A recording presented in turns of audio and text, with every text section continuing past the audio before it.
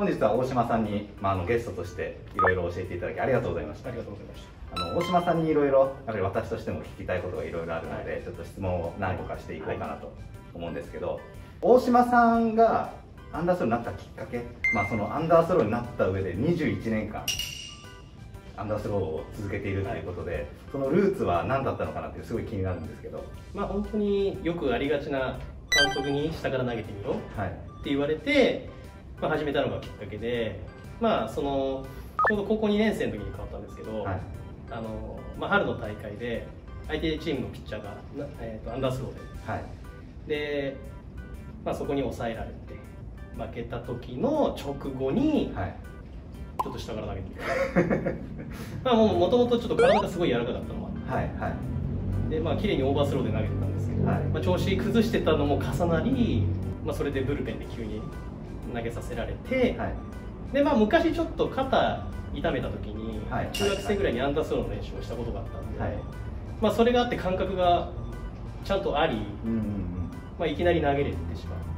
てでそのまま「おいいじゃねえか」ってなって、はい。はい、でそのままちょっと試合中だったんですけど、はい、試合で2イニング投げさせられて、で何もこう本当にカーブとまっすぐだけで、うんうんうん、2イニング無失点にされて、えー、その日からお前下に投げろなるほど。ただやっぱりちょっと上から150キロ投げたいっていう夢があったんで、はい、最初はものすごいやっぱり抵抗があったんですけど、はい、まあでもどうせやるんだったら、うん、誰よりも低いところから投げてやろうとなるほどなるほど。でまあ最初はやっぱりちょっともうちょっと高かったんですけどね、はいはい、だんだんだんだんそれを下げていって、はい、っていう感じでやってたら渡辺俊介選手が出てきて、うんまあ、地上から3センチぐらいの、うん、いや負けたなと。思っていう感じですかね。今そうやって21年間アンダースローやってて大島さんだからこそ思うアンダースローに不可欠なものって何だと思います？うんまあですかね。技術的っていうものももちろんあると思うんですけど、まあ、体的に言ったらそのバネだったり柔軟性だったり、っていうところが重要だと思うと、まあ、あとは何ですかねちょっと言い方悪いですけどずる賢くなる、うん、本当に南東派とか技巧派とかって言われて、はい、やっぱり力じゃ勝負できないことが多いんで、はい、どうやってこのバッターに対するタイミングの外し方、うん、騙すか、はい、ランナーを騙すかだからそういうなんですかね探求心というか、うん、そういうのがやっぱり強くないと特にできないのかなとは思いますけどね。なるほどな。確かに。でも言われてみたらめっちゃ当たりますよね。そのまま素直に言ってたら。いろんなところで。絶対やっぱ若い頃ある程度ちょっと力任せにいっても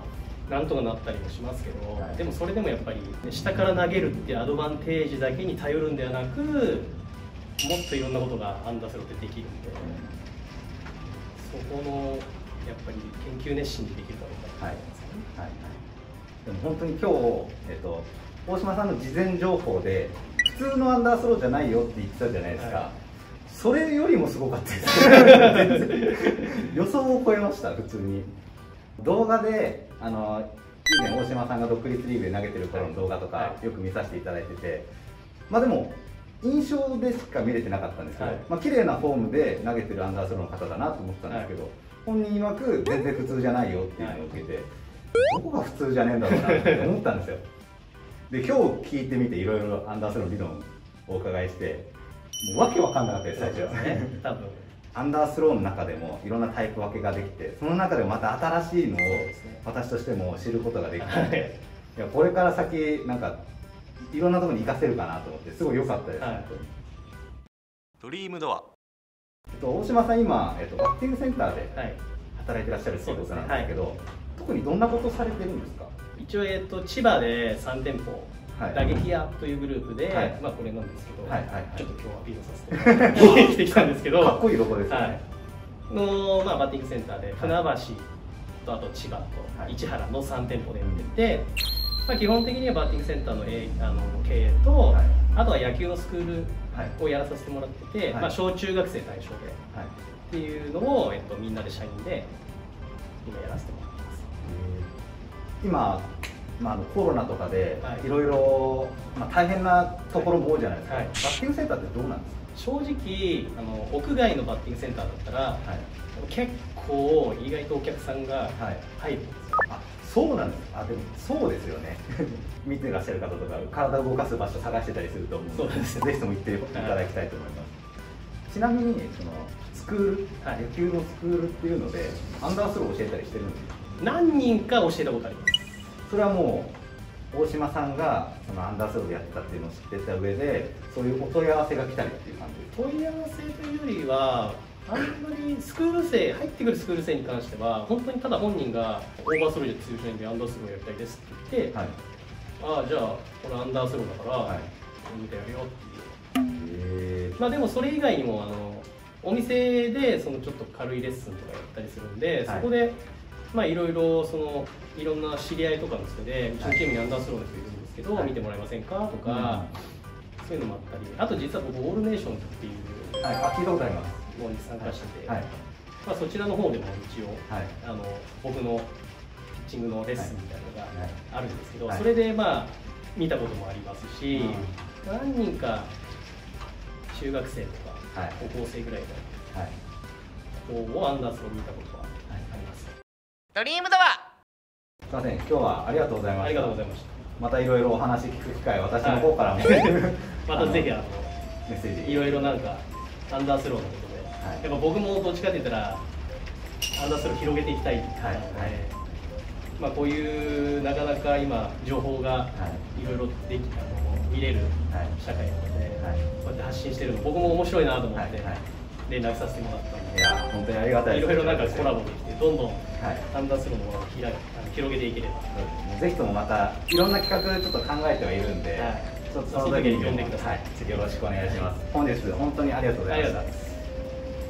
ご視聴ありがとうございました。ドリームドアの室内練習場は JR 金町駅南口から歩いて10分のところにあります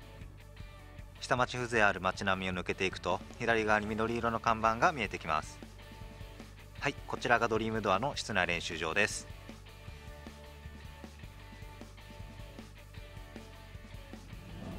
中に入ると鮮やかな人工芝が広がっています。設備も最高です。またドリームドアではアントラーグローブを販売しています。特徴としてアントラーの職人はコンピューターミシンを使用しておりません。すべて職人の手足の微妙な感覚で製作しており一つ一つに職人をはじめ設計者も含めた心のこもったグローブとなっています。基本的にオーダーのみの販売となっており価格が4万5000円からとリーズナブルなのも魅力です。興味のある方はぜひお気軽にお問い合わせください。